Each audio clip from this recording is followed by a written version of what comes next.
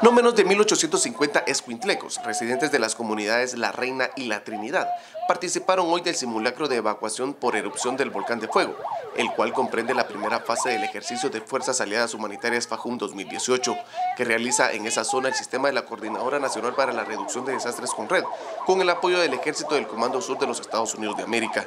consiste en promover la autoevacuación. Por eso fue que venimos caminando alrededor de dos o tres kilómetros y obviamente eh, viendo los inconvenientes que hay en cuanto al cruce de, los, de las barrancas que nos incomunican a las comunidades en tiempo de invierno por los lajares que se dan eh,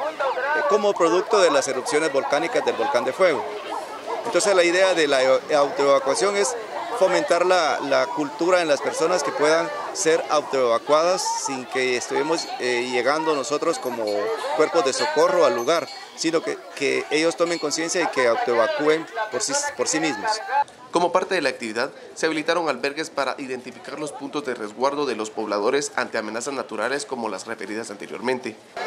Bastante nos afecta porque nos, así nos cae ceniza, nos cae arena, y en la noche hay noches que no podemos dormir porque como se vienen aquellas piedronas, entonces no podemos dormir. Pues la ceniza la extrañamos porque nos queman las siembras y todo esto. Y tanto, pongamos, uno se, mira en, luchas, porque pierde uno sus siembras y todo. Ajá. Previo a la realización del simulacro de hoy, se llevaron a cabo una serie de reuniones con los líderes comunitarios, en las que se actualizaron los planes de respuesta y se marcaron nuevamente los rótulos de señalización con el propósito de que los comunitarios identifiquen las rutas de escape ante una emergencia por el coloso en cuestión.